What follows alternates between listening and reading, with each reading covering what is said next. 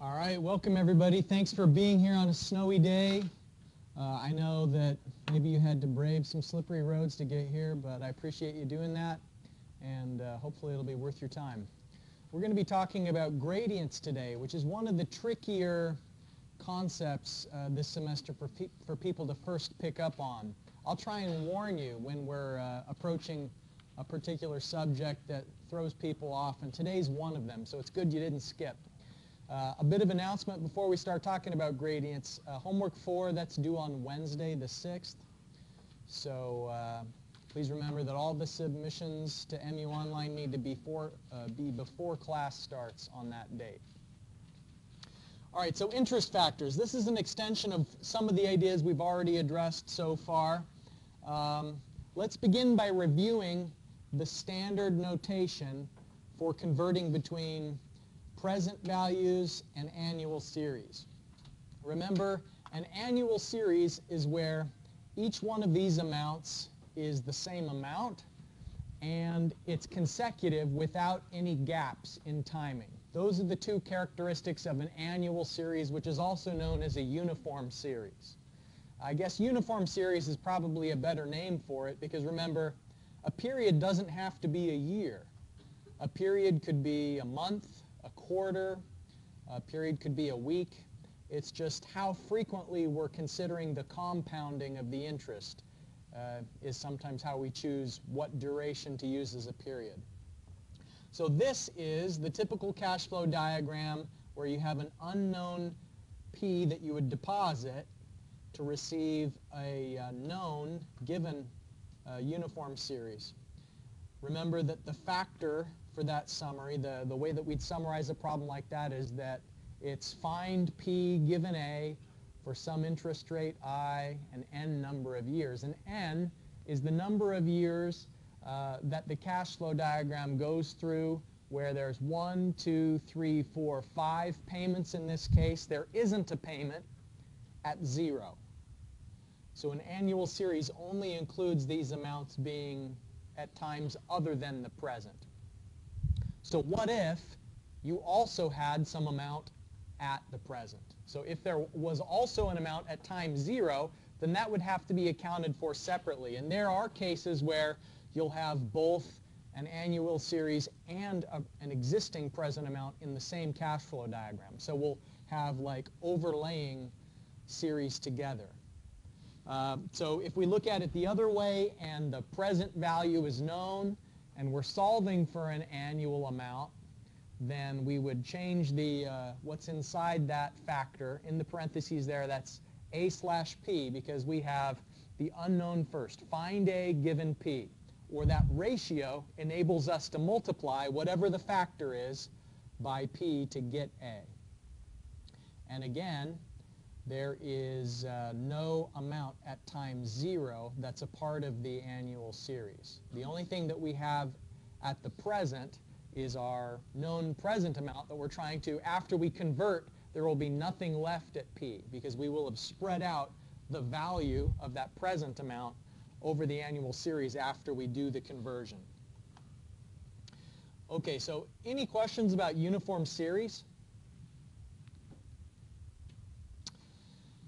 The illustration we're going to do uses the 10% factor table. This is what the factor tables look like in the FE reference manual that's provided.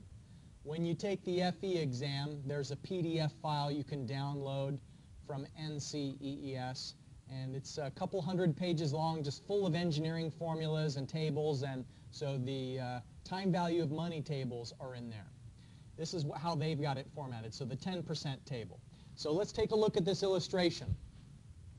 Um, a chemical engineer believes that by modifying the structure of a certain water treatment polymer, his company would earn an extra $5,000 per year. Now sometimes the hard part is just translating text into a cash flow diagram. So you need the practice of uh, making the most reasonable interpretation of the text. I mean, because it's always possible to misinterpret the text, and uh, to find some way that it could be construed in a bizarre way, but you need to think, well, what's the most reasonable thing that could be interpreted from what it's saying here? So earn an extra $5,000 per year, interest rate of 10% per year, how much could the company afford to spend now to just break even over a five-year project period? And so the given is an annual amount of 5,000. The unknown is the present equivalent of that. And when they ask how much could the company afford to spend, what they're saying is if you make a deposit now or an investment, like you're purchasing equipment, somehow doing an improvement, how much would that be so that then you get these cash flow, positive cash flows in the future? Okay, so this is find P given A. Now, let's go to the table that was on the previous slide, the 10% table, five-year. So here's 10%, n equals 5, and then the column we want is find P given A. So 3.7908. And it's just coincidental that that's in bold. They bold, I think, every five to make it easier to read. Okay, so the factor was 3.7908. If we go to the solution here, 5,000, which is the known annual amount, and we need to discount each one of these when we're moving it to year zero. So that's discounting is the verb. So this 5,000 in year one, when we move it to year zero, it's not worth as much as 5,000. This 5,000 in year five is worth a lot less than the 5,000 in year one was. And so now think about it logically. This ratio, 3.79 for n equals 5 years, if the discount rate was 0, then that factor would be 5. But it's 10%, and so it's going to be less than 5. It couldn't be more than 5. Otherwise, that would mean that actually the present value is greater than the future value. And we know that that's not the case. That, that those amounts, when we move it back to the present, would be reduced. Okay, so uh, if we solve for that, it's going to be 18,954, so it's answer D. So any questions about that so far, that illustration? The other thing I wanted to point out is how powerful it can be if you're compounding. Let's go back to this table. Wouldn't it be nice if you could make a deposit into an account and uh, 10%, that'd be a pretty sweet interest rate to get. You're not likely to find 10% in a bank, but there are some stock investments that over the long term can average 10%. If you put $1 into a 10% return, after 20 years, that $1 is worth 6.72. But compound interest is a crazy thing. The growth is nonlinear. After 100 years, that $1 would be worth 13,780. So if you put some money in the bank, maybe your grandchildren would really thank you for it. Just put it in the bank and kind of forget about it for 100 years. It's really going to grow a lot. So this ratio of F to P kind of gives you a sense that it's accelerating. At first it's, you know, small, but if we were going to graph this ratio as a function of time on the x-axis, you'd notice that it kind of gets bigger exponentially after a lot of years. Just something I wanted to throw in there. All right, now what about the uh, standard notation for future with annual series. Remember, the odd thing about a uh, future value is it occurs in the same year as the last annual payment. We've talked about this before. So again, the annual series, they're consecutive. All of these amounts are the same in an annual series, but when we're solving for f, the trick there is that the last, the last cash flow is in the same period. So you wouldn't move it to year six. It would still be in year five. So if you're solving for f, then it's f slash a. If you're solving for a with a given future value, then that's a slash f. Okay, our next illustration comes from the 10% table, I'm sorry, the 8% table. Okay, so read this.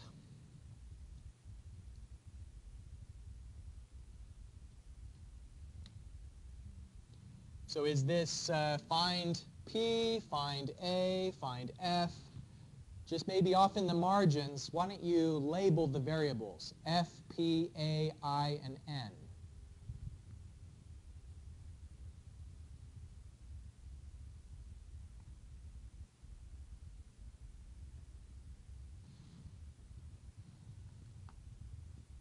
So if, if the company is saving $10,000 per year, that's counted as a revenue. So the, for a cash flow diagram, those arrows are going to be up because that's money they usually spend that they don't have to spend anymore. And we've already, earlier in the semester, talked about how that's considered a cash flow, an inflow to you if previous expenditures don't have to be spent anymore.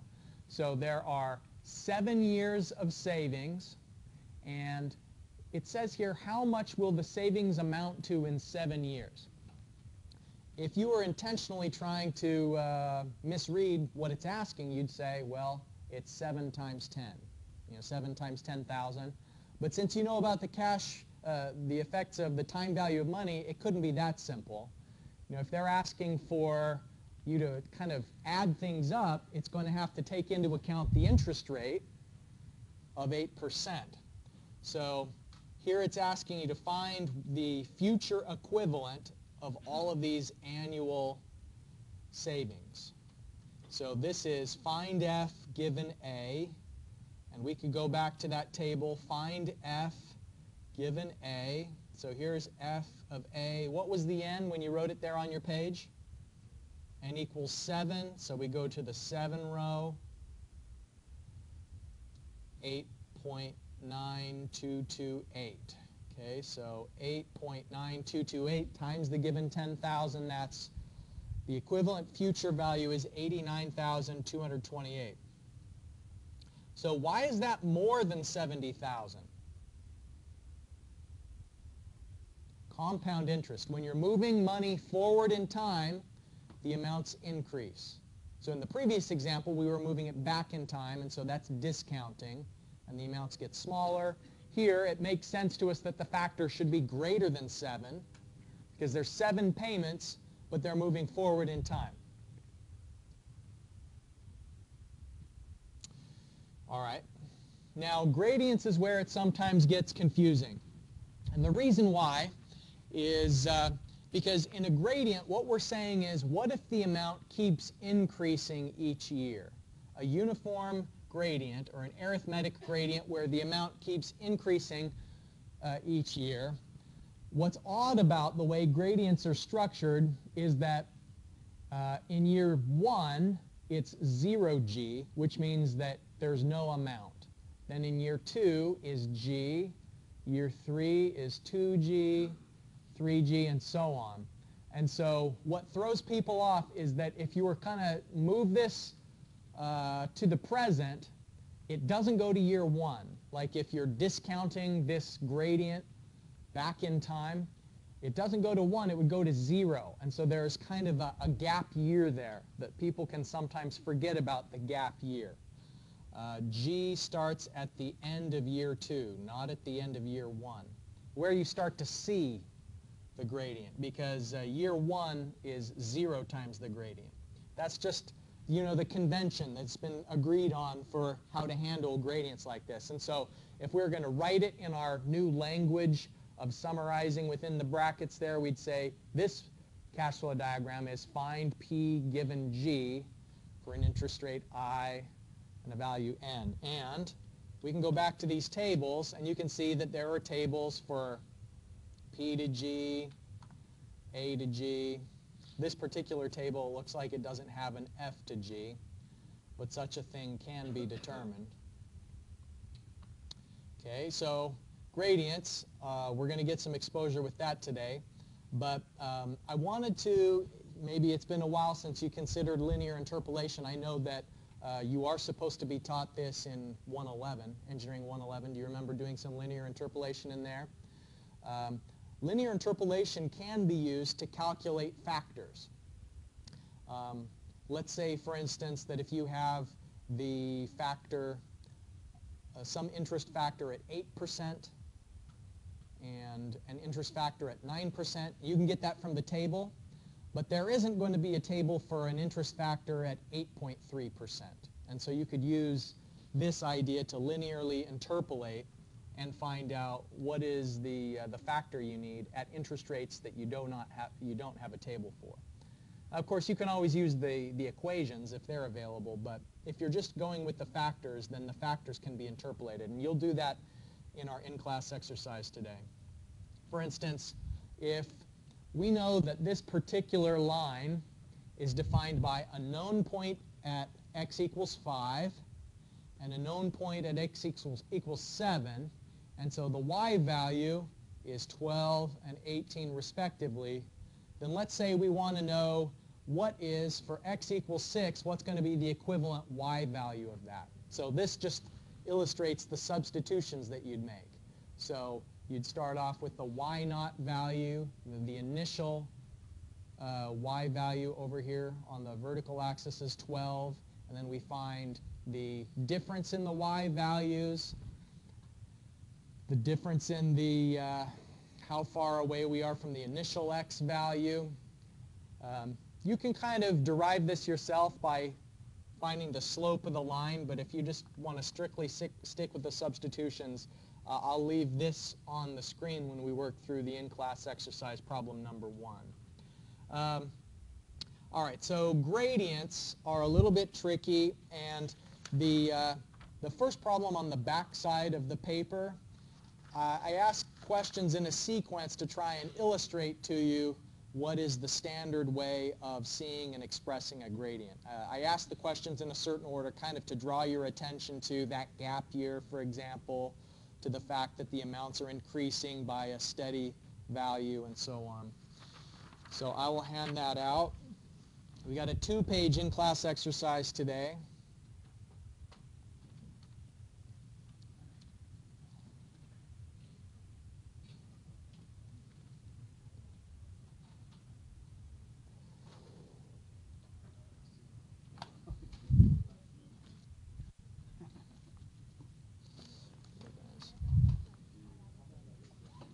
Are you wearing shorts? Oh, I thought you were wearing... It looks like you are. It's going to scold you for not being reasonable.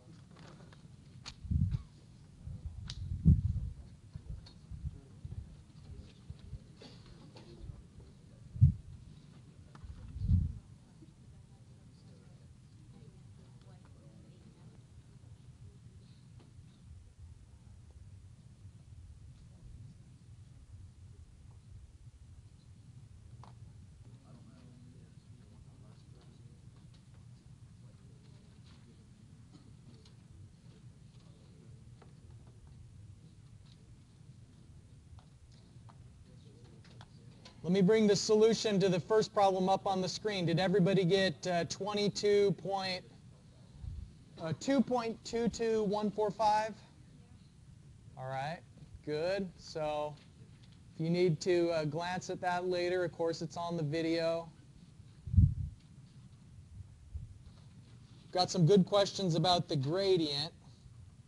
How many years is it, you know? Because you're only seeing the arrows during, uh, there's only three arrows on there, but something's happening in year one. That's the year of 0g. So it does count. So n equals 4 for that gradient.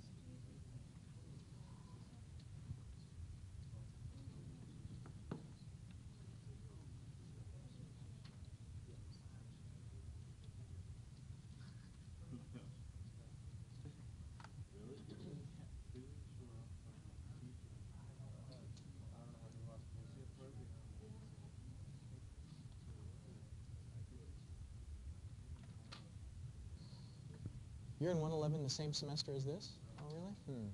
We need to make a prerequisite so that can't be the case. All right, I got some good questions on uh, problem two about how I had said i.e. in year zero. What that meant was find the present value, meaning the value in year zero. So take it all to year zero. That didn't mean uh, go to the table and look for the row where n equals zero, because we already know n equals four from the previous question. So uh, the table method, I said $930.02, but look, as far as precision goes, we've only got five digits in that factor, so it's not actually accurate to the nearest penny. We're not accustomed to rounding off money to the nearest tenth of a dollar, uh, which is why I went ahead and I expressed it to the nearest penny. But the reality is if we solved this by the equation method, it might not be two cents. It, it's maybe something else other than two cents. But it would be certainly accurate to the nearest dollar. And then you'll notice my solution for part D, I go ahead and I take the time to calculate these intermediate quantities.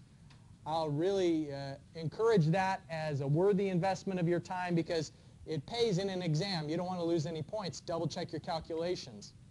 And if you can kind of give yourself these uh, intermediate calculations as a signpost and double checking to make sure, like when you crunch the numbers a second time, do you get that same 56.32 as the first factor, 50 is the second factor. It's just kind of, you can see on the page what's happening and why if you write these intermediate steps. Anybody want to ask questions on problem two?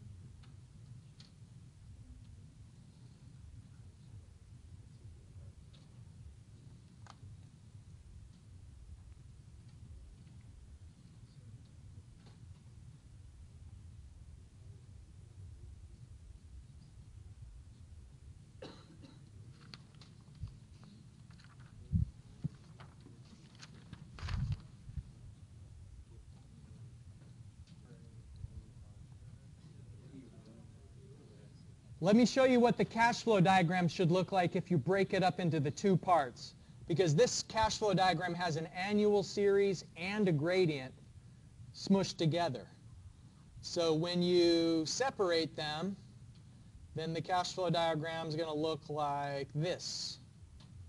We've got a gradient and we've got an annual series and we can treat them like two different problems and then sum the answers in the end. So that's how we uh, can break it apart. So the annual series has A equals 400. The gradient, there's G equals 30.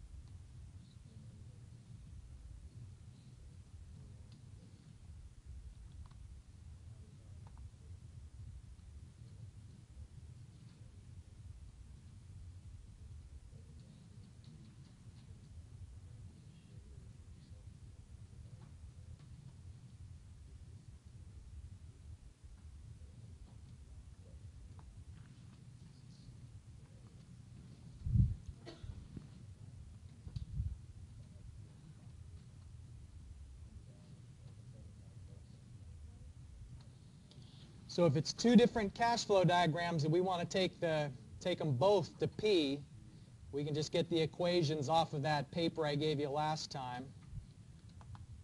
P to A equation, the P to G equation. The P to G equation, that's a beauty. Lots of opportunities for mistakes on that one.